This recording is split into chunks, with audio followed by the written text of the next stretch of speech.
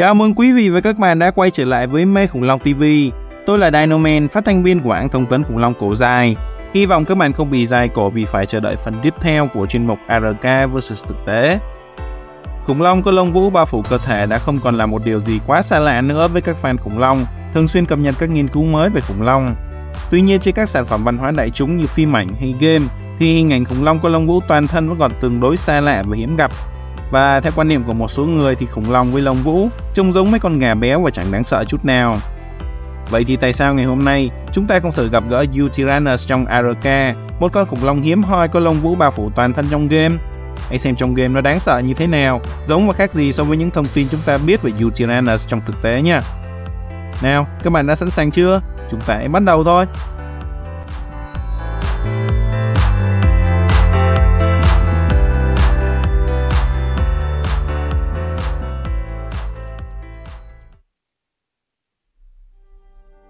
Được cập nhật vào game từ năm 2017, tức chỉ 5 năm sau khi được công bố khoa học chính thức.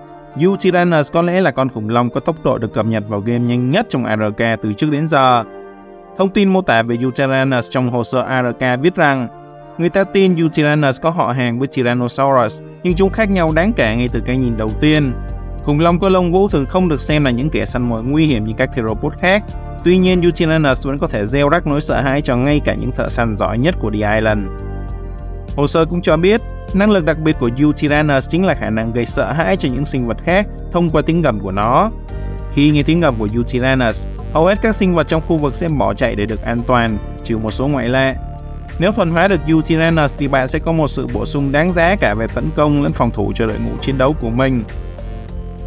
Với tiếng gầm mạnh mẽ, nó có thể khiến những sinh vật của đối phương rơi vào trạng thái sợ hãi và nhận thêm một lượng lớn sát thương lên đến 50%. Đồng thời, bạn cũng có thể huấn luyện nó để sở hữu kỹ năng Battle Cry, giúp tăng tự tin của quân mình, chống lại khả năng gây sợ hãi của quân địch, tăng cả sát thương lẫn khả năng chống chịu sát thương lên 25%. Đặc biệt là Utyrannus có thể lôi kéo những con khủng long hoang dã khác loài là Carnotaurus trở thành đồng minh của nó. Thế nên, khi giao chiến, việc sở hữu một con Utyrannus trong đội hình sẽ mang đến cho bạn khá nhiều lợi thế, nhất là những cuộc giao chiến quy mô lớn. Về sức mạnh thì Utilanus có một số chỉ số khá tương đồng với Tyrannosaurus trong game, chẳng hạn như máu 1100 hay thể lực 420.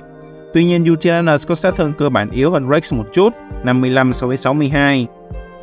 Khả năng cất tiếng gầm gây sợ hãi của Utilanus dẫn đến một chuyện khá hay ho là bạn có thể dùng Utilanus để thu hoạch phân, có thể gọi là sợ vãi chu bin đúng nghĩa đen. Đúng vậy, trong game ARK, khi một sinh vật hoang dã bị sợ hãi đến mức cao nhất thì nó không chỉ bỏ chạy mà còn vãi cả chu bin khi bỏ chạy và tiếng gầm của Utilanus rất hiệu quả trong việc này. Vậy là chỉ cần tìm chỗ nào đông đông sinh vật đang đứng và cho Utilanus gầm lên một cái, bạn đã có một lượng chu bin đáng kể để chế tạo phân bón trong mùa vụ của mình rồi.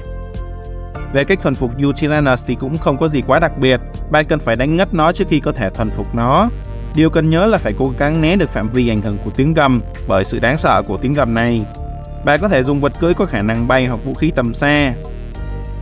Đó là Utyrannus ở trong game, còn Utyrannus ngoài đời thì như thế nào?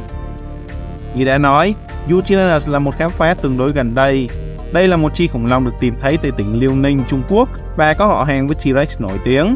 Chúng cùng thuộc siêu họ Tyrannosauridae, nhưng ở một nhánh khác của siêu họ này là Proceratosauridae. Utyrannus có niên đại khoảng 125 triệu năm trước, thuộc thế phân trắng sớm, từ cách T-Rex đến gần 60 triệu năm, một khoảng cách khá xa. Đây là thời điểm mà các loài trong siêu họ Tyrannosauridae chưa đạt đến kích thước khổng lồ như T-Rex, còn cặp chi trước vẫn có tỷ lệ nhìn khá hợp lý, chứ chưa đến nỗi tí hon như T-Rex. Về ngoại hình tổng thể thì một số người cho rằng Utyrannus trong game trông giống như phiên bản có lông của Allosaurus, có lẽ là do chúng đều có sừng trên mắt khá nổi bật. Tuy nhiên điểm khác biệt lớn chính là Utyrannus, dù ở trong game hay ngoài đời, đều có một cái mèo thấp nằm ở chính giữa mõm của nó. Allosaurus sẽ không có điều này. Phiên bản trong game thì cũng có tỷ lệ chi trước so với cơ thể giống với phiên bản đời thực. Đó là điều khiến nó khác biệt so với người họ hàng Tyrannosaurus trong game. Và điều đặc biệt nhất về Utyrannus không gì khác chính là lồng vũ. Nó là mẫu vật khủng long cỡ lớn đầu tiên có bằng chứng trực tiếp về cơ thể có lồng vũ bao phủ. Chính vì thế cái tên của nó dịch ra là bạo chúa có lồng vũ. Trong thực tế, danh pháp hai phần đầy đủ của Utyrannus là Utyrannus Wally, trong đó hoa có nghĩa là hoa lệ, ý muốn nói rằng con vật này có bộ lông rất đẹp. Khi lên game thì tên loài đã được đổi thành Sivus, dịch từ tiếng Latin có nghĩa là tàn bạo. Dựa trên hóa thạch của Eutyranus, các nhà cổ sinh vật học biết rằng một phần lớn cơ thể của Eutyranus được bao phủ bởi một loại lông vũ dài, có thể lên đến 20cm và có dạng sợi. Chúng không hoàn toàn giống với lông vũ của chim ngày nay. Trong khi lông vũ của chim có hai loại là lông ống và lông tơ, trong đó lông ống thường bao phủ phần ngoài của cơ thể và có nhiều công dụng hỗ trợ cho khả năng bay, thì lông tơ gồm các sợi lông mảnh làm thành chùm lông xốp, giúp giữ nhiệt, chống chọi với cái lạnh. Các nhà khoa học cho rằng lông vũ trên cơ thể Eutyrannus giống với lông tơ của chim ngày nay và do đó người ta đoán rằng chúng có công dụng giữ ấm cho cơ thể là chính. Ngoài ra còn có thể là cách nhận diện giống loài và làm đẹp, tạo lợi thế trong việc chọn lọc giao phối. Lông vũ của Eutyrannus trong game được thiết kế khá giống với các thông tin khoa học mà chúng ta biết. Tuy nhiên về màu sắc thì cho đến nay, các nhà khoa học vẫn chưa thể phục dựng được màu sắc lông của Eutyrannus trên thực tế và các màu sắc mà chúng ta thấy trong game hoàn toàn là suy đoán. Có hai chi tiết nữa có lẽ cũng là sáng tạo của nhà làm game, đó chính là tiếng gầm bá đạo và khả năng kêu gọi các Notaurus trở thành đồng minh của Eutyrannus.